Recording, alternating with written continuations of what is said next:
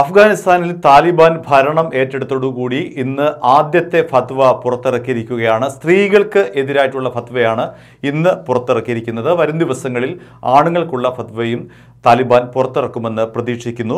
കഴിഞ്ഞ തവണയും അതുപോലെ തന്നെ ആണുങ്ങൾക്കെതിരെയുള്ള ഫത്വയുണ്ടായിരുന്നു സ്ത്രീകൾക്ക് എതിരായിട്ടുള്ള ഫത്വയും ഉണ്ടായിരുന്നു. ഇന്ന് സ്ത്രീകളുടെ ഫത്വയാണ് പുറത്തു വന്നിരിക്കുന്നത്. അതിലെ വിശദമായ കാര്യങ്ങൾ നോക്കാം. ഒന്ന് സ്ത്രീകൾ ഒരു കാരണവശാലും സ്കൂളുകളിൽ പോയി പഠിക്കാൻ പാടില്ല. പത്ത് വയസ്സുവരെ അവർക്ക് പഠിക്കാം. അത് മദ്രസ വിദ്യാഭ്യാസം മാത്രമായിരിക്കണം. അതിനുശേഷം ഒരു കാരണവശാലും സ്ത്രീകൾ സ്കൂളുകളിലോ കോളേജുകളിലോ പോകാൻ പാടില്ല.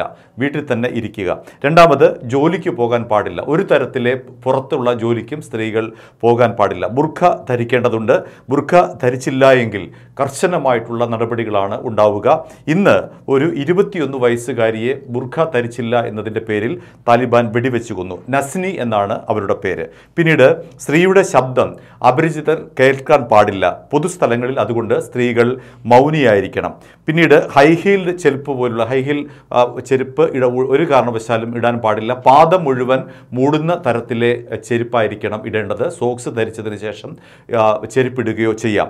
പിന്നീട് തെരുവുകൾക്ക് സമീപമാണ് വീട് എങ്കിൽ അന്യ പുരുഷന്മാരുടെ നോട്ടം പതിയാതിരിക്കാനായി വീടിന് ഉള്ളിൽ തന്നെ കഴിയേണ്ടിയിരിക്കുന്നു.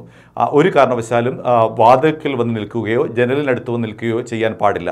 ഇനി താഴത്തെ നിലകളിൽ ജനലുണ്ട് എങ്കിൽ ആ ജനൽ പാളികൾക്ക് കറുത്ത പെയിന്റ് അടിക്കുക അല്ലെങ്കിൽ സ്ക്രീൻ കൊണ്ട് ആ ജനൽ മറയ്ക്കുക. അത് ഒരു കാരണവശാലും സ്ത്രീകളെ മറ്റുള്ളവർ കാണാതിരിക്കാൻ വേണ്ടിയാണ് അങ്ങനെ ചെയ്യേണ്ടത്. സ്ത്രീകൾ ബാൽക്കണിയിൽ നിൽക്കാൻ പാടില്ല. സ്ത്രീകൾക്ക് ഫോട്ടോ എടുക്കാനുള്ള അവകാശമില്ല. സെൽഫി പോലുള്ള ഫോട്ടോ എടുത്തു കഴിഞ്ഞാൽ അവർക്ക് ശിക്ഷ കിട്ടുന്നതായിരിക്കും. അതേപോലെ തന്നെ പുസ്തകങ്ങളിൽ സ്ത്രീകളുടെ ഫോട്ടോകൾ പാടില്ല. റേഡിയോ ടെലിവിഷൻ പൊതുകൂട്ടായ്മ എന്നിവിടങ്ങളിൽ സ്ത്രീകൾ പങ്കെടുക്കാൻ പാടില്ല അവരുടെ ശബ്ദവും കേൾക്കാൻ പാടില്ല. പിന്നീട് അടുത്ത ഒരു കാര്യമെന്ന് പറയുന്നത് അവർക്ക് അഥവാ പുറത്തിറങ്ങേണ്ടി വന്നാൽ. പുറത്തിറങ്ങാനുള്ള സാഹചര്യം ഒരു വളരെ വളരെ ചുരുക്കമേ ഉള്ളൂ. ഇനി അഥവാ എന്തെങ്കിലും കാര്യത്തിന് പുറത്തിറങ്ങേണ്ടി വന്നാൽ രക്തബന്ധത്തിൽപ്പെട്ട പുരുഷന്മാർക്കൊപ്പമാണ് പുറത്തിറങ്ങേണ്ടത്. രണ്ട് പുരുഷന്മാർ വേണം. ആ പുരുഷന്മാർക്കൊപ്പം മാത്രമേ അവർക്ക് പുറത്തിറങ്ങാനുള്ള അധികാരമുള്ളൂ. പിന്നീട് സ്ത്രീകളുടെ ആഭരണശാലകളും അതേപോലെ തന്നെ സ്ത്രീകളുടെ മറ്റ് ആടയാഭരണങ്ങളൊക്കെയുള്ള സ്ത്രീകളുടെക്ക് മാത്രമായിട്ടുള്ള ഷോപ്പുകളെല്ലാം തന്നെ താലിബാൻ അടച്ചുപൂട്ടി.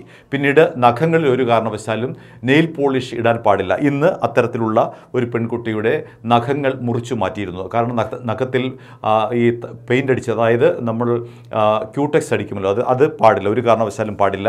ഈ ഫത്വകൾ ലംഘിക്കുന്നവർക്ക് ചാട്ടവാറടിയാണ് ഏറ്റവും കുറഞ്ഞ ശിക്ഷയായി നൽകുന്നത് ഏറ്റവും വലിയ ശിക്ഷ എന്ന് പറയുന്നത് വെടിവെച്ച് കൊല്ലുക കൊല വധശിക്ഷയാണ്. ഇനി ഇപ്പോൾ പതിനഞ്ചിനും നാൽപ്പത്തി അഞ്ചിനും ഇടയ്ക്കുള്ള സ്ത്രീകളുടെ എല്ലാ വിവരങ്ങളും ശേഖരിക്കാനായി താലിബാൻ ഉത്തരവിട്ടിരിക്കുകയാണ്.